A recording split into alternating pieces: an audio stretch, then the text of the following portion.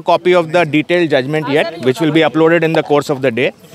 I am just giving a briefing based on what the court observed during the oral reading out of parts of the judgment. Uh, the court has examined aspects of section 19 of requirement of arrest under the PMLA.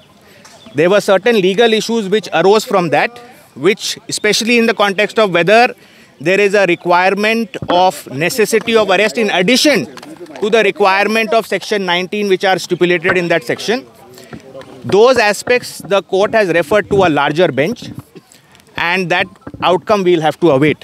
However, in the interim, the court has observed that Mr. Kejriwal has already undergone substantial amount of incarceration and therefore directed his immediate release in the enforcement directorate case.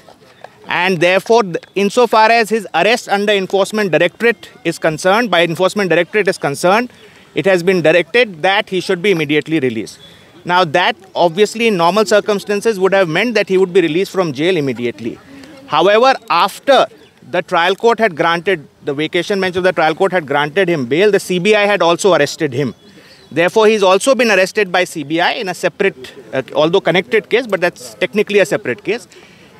Mr. Kejriwal has initiated proceedings against that also. That is pending and coming before High Court on 17th.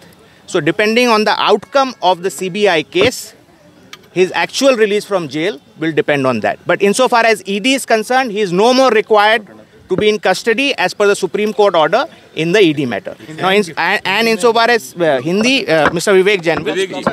देखिए supreme court में हमारी याचिका के अंदर दो grounds थे हमारे दो ग्राउंड्स थे एक ग्रा एक एक ग्राउंड था मेरिट के ऊपर कि on the merits it is not required to be arrested दूसरा था ग्राउंड की नेसेसिटी क्या है अरेस्ट की, ज़रूरत क्या है अरेस्ट की? ज़रूरत वाला पॉइंट हमने इसलिए रेस किया था क्योंकि एनफोर्समेंट डायरेक्टरेट इन्फोर्समेंट डायरेक्टरेट के पास एविडेंस बहुत पहले से थे। इसलिए हमने एक क्वेश्चन रेज किया था कि नेसेसिटी ऑफ़ अरेस्ट की ज़रूरत कहाँ से आ गई, जब आपके पास एविडेंस बहुत पहले से थे। सुप्रीम कोर्ट ने हमारी याचिका पे ये क्वेश्चन कंसीडर किया है कि हाँ necessity of arrest should have been considered IO को कंसीडर करना चाहिए था कि ज़रूरत है या नहीं है अरेस्ट करने की। और इसी पॉइंट के ऊपर सुप्रीम कोर्ट ने नेसेसिटी ऑफ़ अरेस्ट के ऊपर की ज़रूरत थी या नहीं थी आईओ ने अपनी जो आ, उनका डिस्क्रेशन है सही तरीके से एक्सरसाइज किया है या नहीं किया है ये सोचते हुए कि ज़रूरत है या नहीं है इस क्वेश्चन को उन्होंने लार्जर बेंच के ऊपर रेफ़र कर दिया है।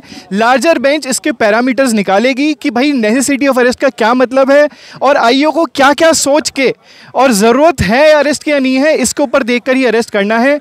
अब इस क्योंकि मामला अब लार्जर बेंच पे लंबित हो गया है, इसलिए सुप्रीम कोर्ट ने कहा है, क्योंकि बहुत देर से वो बहुत देर से अनसाइड है 21 मार्च से वो अंदर हैं, इसलिए पीएमएलए वाले मैटर के अंदर उन्हें इंतरिम जमानत दी जाती है और पीएमएलए वाले मैटर के अंदर अब अरविंद केजरीवाल को बेल मिलेगी।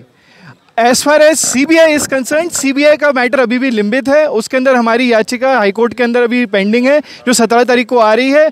उस पर डिपेंड करेगा कि वो एक्चुअल में केजरीवाल साहब बाहर आएँगे या नहीं आएँगे। As far as P M L is concern the matter is over as far as his interim bail is concern he is out on bail